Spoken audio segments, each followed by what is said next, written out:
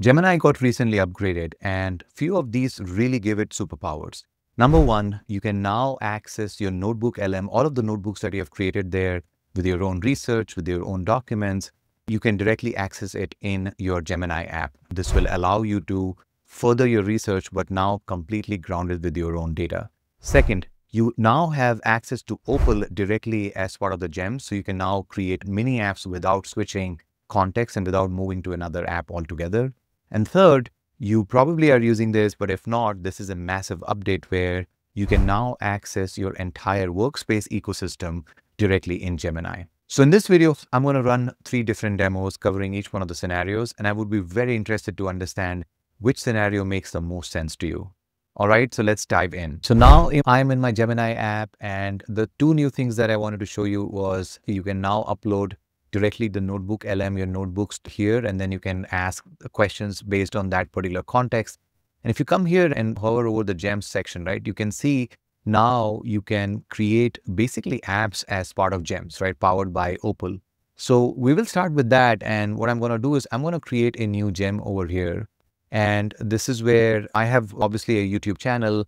And in my YouTube channel, you will see that these are all the thumbnails that I have, and I usually have myself in the thumbnail.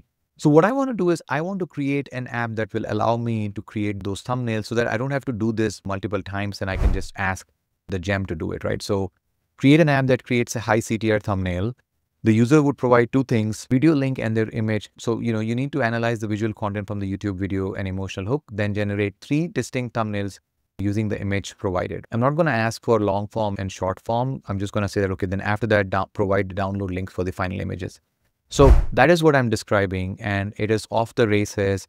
It is now configuring our app in order to create that, right? So we'll give it a few seconds for it to come back and create the app for us. All right, so looks like it has already created the apps. These are the steps that it is going to follow, right? So it is going to ask for the URL, the user image, and then it's going to analyze the video and then create the thumbnail descriptions, which will be used in order to generate the thumbnails and then finally render the thumbnail in a web page. So let's test this out, okay? So let's just full screen it. And then I'm going to say that, okay, give me the YouTube link. So I'm going to take a second to do that. I'm providing the latest YouTube video link, which is my own video. And then I've uploaded my own image as well. Now it is analyzing the video for emotional hooks. So basically, because Gemini 3 Pro is multimodal completely in nature, it can go through the video in detail.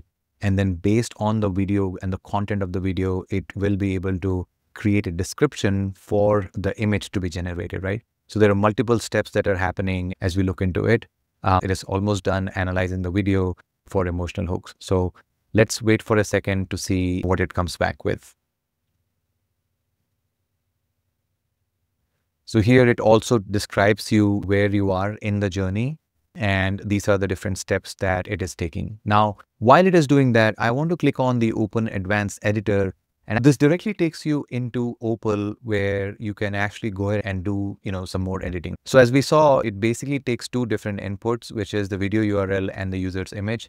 Then it analyzes the video emotion, and this is where it is using the Gemini 3, you know, Gemini 2.5 model. We can go ahead and change it to Gemini 3 Pro. And this is where you have the capability to go ahead and change these, these models per se, right? So here now, once it is analyzed, it is generating the thumbnail. Again, once you are here in the advanced editor, you can change it to 3 Pro, then it will generate the thumbnails itself. You can again change it to a different model. In this case, I want the Nano Banana model and then it, it generates this, right? As soon as you're done with this, it'll save. And that also gets reflected in the actual app which you're using within Gemini, right? So it's it seems that it has completed its process. So let's just full screen it.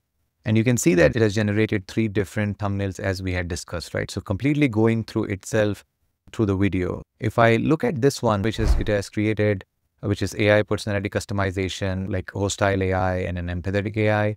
So the video that I had created was around this, right? So it, it was around giving different personalities to voice agents. So it has done a really good job without me providing any description whatsoever, only by providing the YouTube URL link. When I can obviously make it a little bit more better by adding more interesting, more detailed descriptions around what this video is all about. But just doing this out of the box, I think it is very powerful. So that was the first one which I wanted to showcase. Now, the second one that I want to discuss is this hidden gem where you can actually connect all of your workspace apps directly into Gemini. right? So if I click on this, I'm going to allow it to, to connect and there you go, right? So you, can, you also have all of the capability to connect your YouTube music, etc. But for the moment, we're going to only discuss this particular one.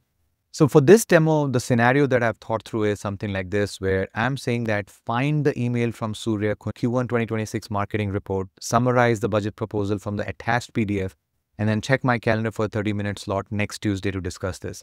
This is where it is, because it is connected to Workspace, you will see that it is already looking at my, my emails, etc. within Workspace, and then it should be able to go through that and then come back with a detailed summary around the budget proposal.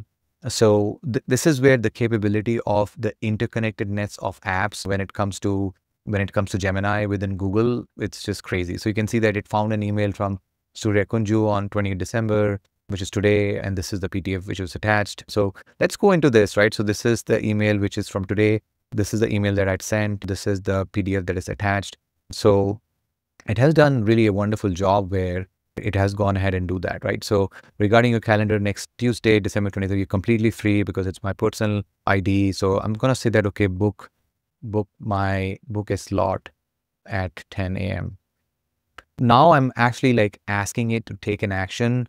So let's open the calendar, right? So I just opened my calendar and there you go. You can see already here that it is being scheduled directly from this. It's already showing that and it could also take you directly from here as well.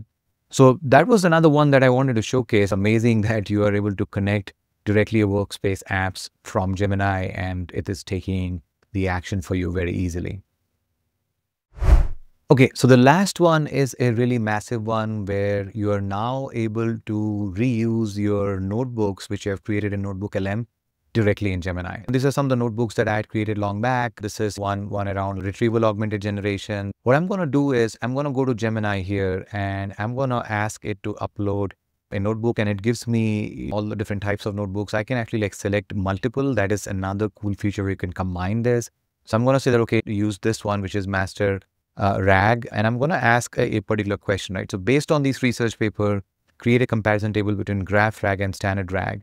So this is very interesting because now I'm saying based on these research papers, which is all uploaded here. And you can see over here, when I once I click on this, you can see that these are all the different papers and sources that I've uploaded. So now I'm able to use all of that information just with one prompt, which is completely grounded, which is groundbreaking, by the way. So you can see that based on the research paper provided, you're able to see this. Now, this is specifically created based on the documents that is uploaded on Notebook LM. So this is where you're completely customizing your Gemini uh, information based on the research that you have already done on Notebook LM. Now, Notebook LM is a very good tool and I'm very happy to make a detailed video on that. There are some new things such as data tables, etc., which were just launched this week. So let me know in the comment section if you guys are interested and I'm happy to make that and how it can then be connected to Gemini. But that was the third major update that I wanted to show was to create this, right? So now based on this, create an infograph. So if I type this, then it's going to use the Gemini 3 Nano Banana model in order for it to create the infographic. So suddenly you're able to not only use the research, summarize the information, and then just within Gemini, do a bunch of stuff such as creating this infograph. There you go. So it has done a wonderful job here as well. So that was what I wanted to cover today. I hope you found this helpful. Three quick updates in the world of Gemini app, which is around Notebook LM, around GEMS, and then of course using your Google Workspace directly in Gemini. Please let me know in the comment section which ones makes uh, you know a lot of sense to you and which ones do you find most valuable. I hope you enjoyed the video. Please do hit that like button and please subscribe. It helps me a lot. Thank you once again for your time. I will see you in the next one.